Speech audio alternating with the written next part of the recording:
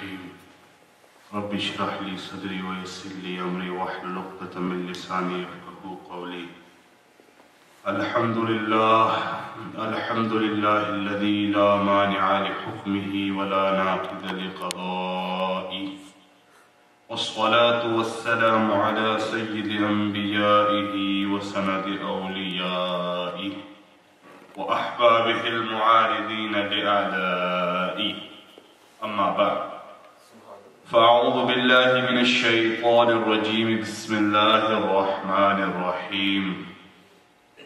قل إن كنتم تحبون الله فاتبعوني يحببكم الله. صدق الله العظيم. إن الله وملائكته يصلون على النبي.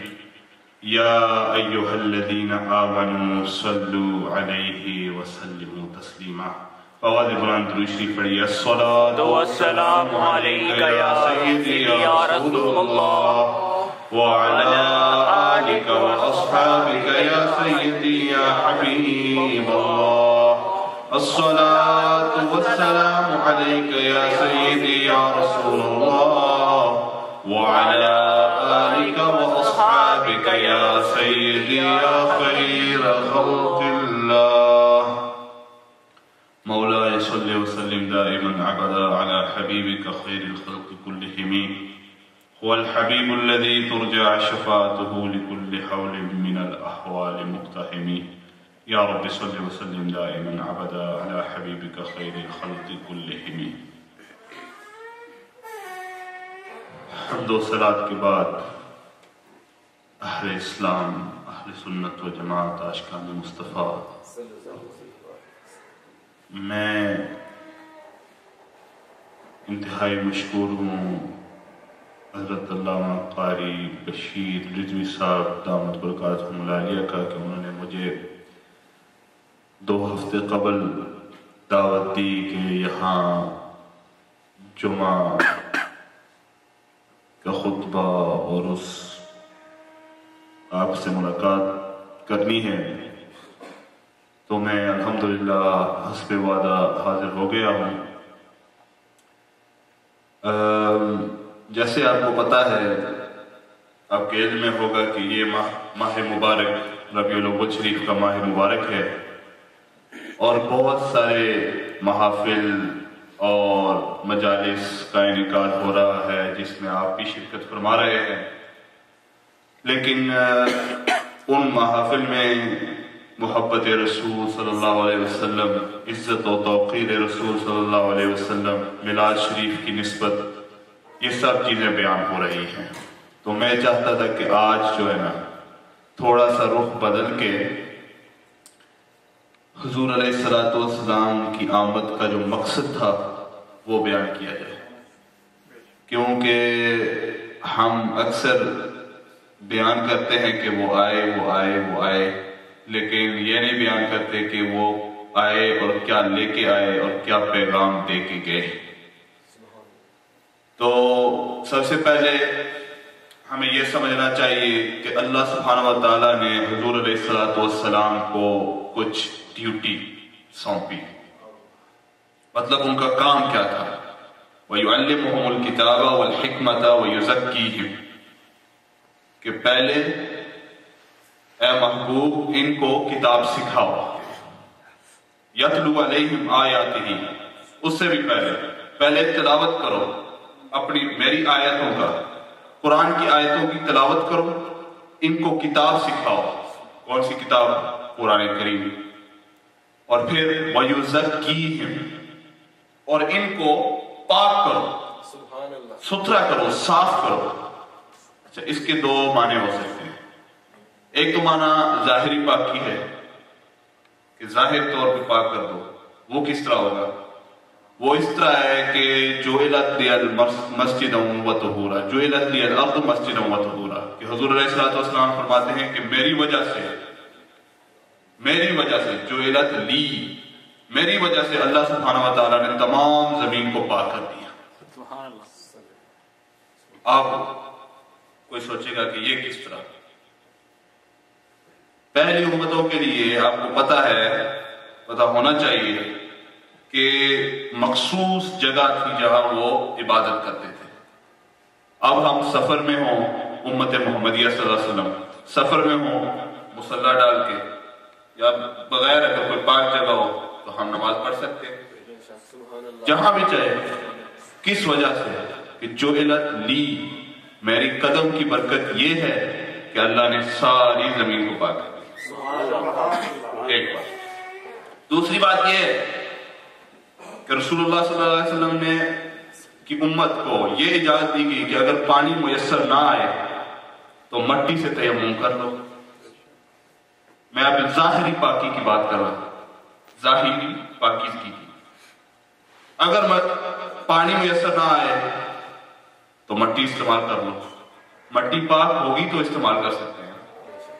جس طرح پانی نہ پاک ہو، جتنا چاہے غسل اور وضو سے کر لو۔ پاک بندہ نہیں ہوتا۔ تو مٹی اگر نہ پاک ہو، تو پھر کس طرح تیمم ہو سکتا ہے؟ تو حضور علیہ السلام فرماتے ہیں، میری وجہ سے یہ پاک۔ پھر ایک تو ظاہری پاک ہے، ایک باطنی پاکیزگی ہے۔ باطنی پاکیزگی کس کا نام ہے؟ باطنی باطنی پاکیزگی وہ چیز ہوتی ہے جو اندر سے شیطان کے وسوسے ہوتے ہیں، ان کو نکالنا۔ اس کو کہتے ہیں باطنی پاکیزگی اب وسوسط الحمناس جو ہے، آپ نے سب سنا ہے۔ آخری صورت قرآن میں اسی کا ذکر ہوتا ہے کہ جو شیطان ہے، وہ وسوسہ ڈالتا ہے اور لوگ گمراہ ہو جاتے ہیں۔ لیکن جو حضور علیہ السلام والسلام کے پاس بیٹھنے والے تھے میں آپ سے یہ عرض کرتا ہوں کہ کیا وہ بھی گمراہ ہو سکتے تھے؟ بالکل نہیں۔ مطلب یہ ہے کہ حضور علیہ السلام کی یہ ڈیوٹی ہے کہ آپ ان کو پاک کریں۔ تو ظاہر سے پاک تو کر دیا لیکن اندر سے پاک نہیں کیا۔ یہ کبھی ہو سکتا ہے؟ اس طرح تو نہیں نہ ہو سکتا۔ وَيُزَكِّيهِمْ کی ہم کا مطلب یہ آپ دیکھو ایک واقعہ ہے بخاری شریف میں۔ حضرت ابو سعید خدری حضور علیہ السلام مسجد سے نکلے اور آپ کہیں تشریف لے جا رہے تھے تو آپ نے دیکھا کہ ابو ابو سعید خدری آ رہے تھے۔ تو کہا، السلام علیکم۔ حضور علیہ السلام تو ابو سعید نے جواب نہیں دیا۔ رضی اللہ تعالیٰ آپ نے جواب نہیں دیا، اپنے گھر میں چلے گئے اور پھر واپس آ گئے۔ کوئی تھوڑی دیر بعد مسجد میں آ گئے، مسجد نبوی۔ حضور علیہ السلام صحابہ کے ساتھ تشریف فرماتے۔ تو کہنے لگے کہ وعلیکم السلام یا رسول اللہ۔ تو حضور علیہ السلام نے فرمایا کہ ابو سعید، میں نے تو وہاں بازار میں تمہیں السلام علیکم کہا، اب تو کیا کر رہا ہے دو تین گھنٹے ہو گئے ہیں اور اب تو آ رہا ہے اور وعلیکم السلام کہہ رہا ہے تو دیکھا جائے تو اس میں پتہ کیا تھا کہ حضرت ابو سعید خدری رضی اللہ تعالیٰ عنہ کے بالوں سے پانی ٹپک رہا تھا۔ انہوں نے فرمایا، یا رسول اللہ، میں ناپیس ناپاکی کی حالت میں تھا۔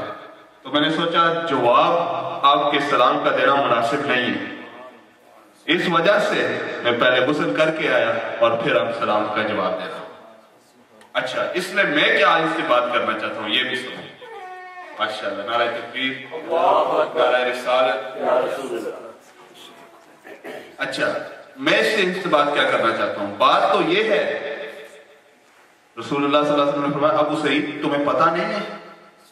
بات تو تو نے کی ہے اپنے ادب کے ساتھ کی ہے۔ وہ بھی ٹھیک ہے لیکن تمہیں پتا نہیں ہے جو رسول اللہ کا مخاطب ہو جائے اس کا ظاہر بھی پاک ہو جاتا ہے اس کا باطن بھی پاک ہو جاتا ہے۔ صرف مخاطب ہو جائے۔ بخاری شریف کی حدیث ہے۔ اب ہم کیا کریں؟ جب حضور علیہ السلام خود فرماتے ہیں کہ میں پاک کرنے والا پھر حضور علیہ السلام قرآن کا یہ حکم ہے کہ وہ یوزکی ہی پاک کرو ان لوگوں کو۔ اب ہم کہیں کہ تیئیس سال کے ساتھ جو صحابہ ان کے ساتھ تھے، وہ پورے پورے پاک نہیں تھے۔ تو یہ ہمارا عقل کی ماتم ہونی چاہیے کہ ہم یہ ایسی باتیں کریں۔ بہرحال، میں نے ایک آیت قرآن کریم سے تلاوت کی۔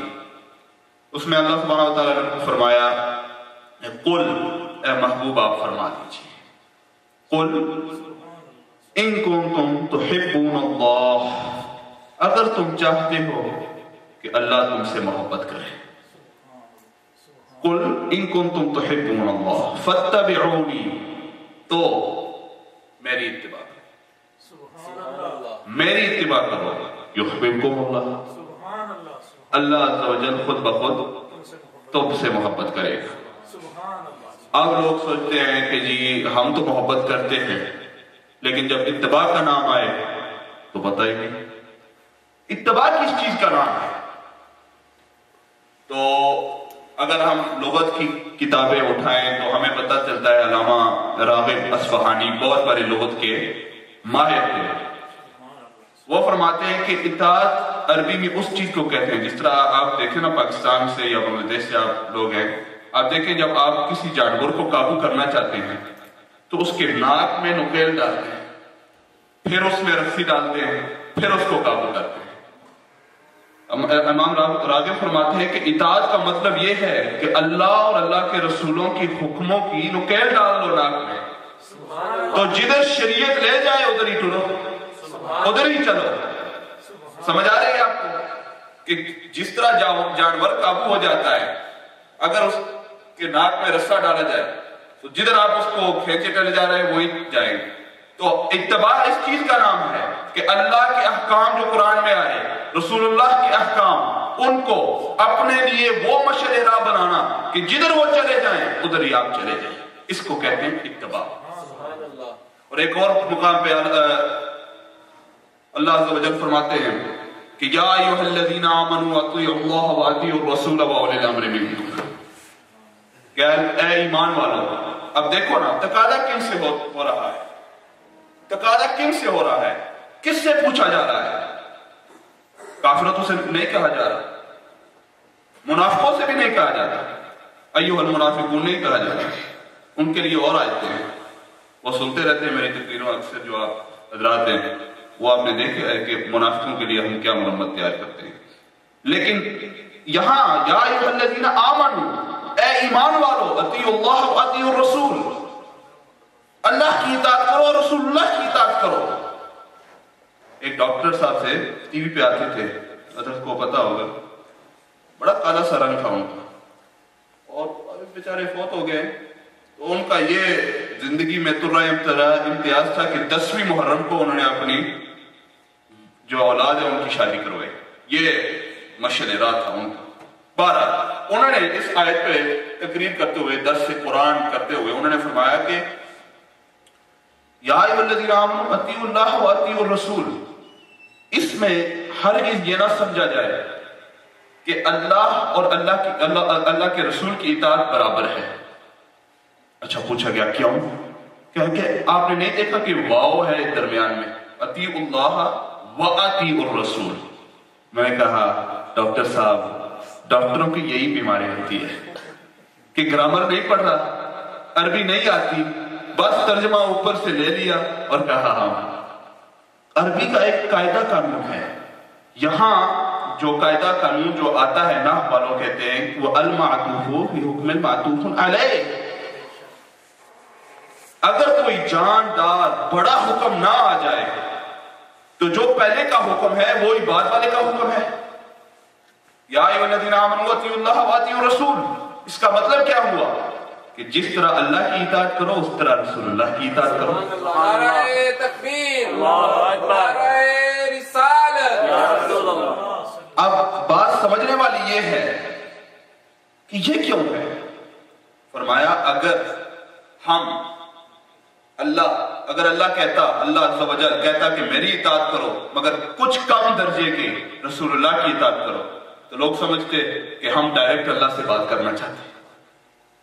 ہم ڈائریکٹ اللہ سے بات کرنا چاہتے ہیں۔ رسول اللہ کا اتنا مرتبہ نہیں ہے کہ ہم ان سے بات کریں۔ لیکن اللہ نے کہا، نہیں، من یطع الرسول فقد اطاع اللہ۔ جب تک تم رسول اللہ کی اطاعت نہ کرو، تب تک اللہ کی اطاعت کی نہیں جا سکتی۔ جب تک رسول اللہ کی اطاعت نہ کرو، تب تک اللہ کی اطاعت نہیں کی جا سکتی۔ اب آگے نکلی۔ حضرت آپ کی تشریف لانے سے پہلے میں نے سوچا کہ تھوڑا احکام جو ہے وہ بیان ہو جائے۔ کیونکہ ملاد شریف تو بیان ہو